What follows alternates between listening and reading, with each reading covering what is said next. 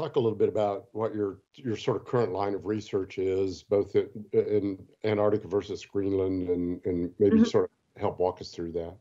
Yeah, so I'm broadly um, interested in, in glaciology and glaciers and how they're changing, how they've changed in the past hundred years, and how they're going to change in the next hundred. So that's kind of the time scale that I've I've been thinking about.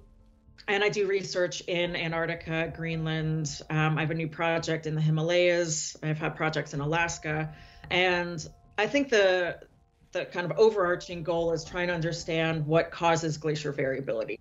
My first trip to Greenland was in 2005 as a PhD student, and I'd been studying actually this glacier in the back, Helheim Glacier in East Greenland, for my dissertation, and had been looking at imagery of where the terminus was and and how it looked for you know you know I guess for the preceding 15 years for however long we had good satellite imagery, and then when we got there, it had retreated you know four miles from from the place where it had been stable for the previous 20 20 years. And and that was a really new discovery then that it could change in a year that quickly um, and so a lot of the focus in trying to understand um, kind of current rates of sea level rise and how the ice sheets are contributing to that and how that's going to change you know in the next 50 to 100 years really rely on how quickly Greenland and Antarctica are, are responding to a warming climate. Um, and so when I started, Greenland in particular was kind of in balance with its current climate.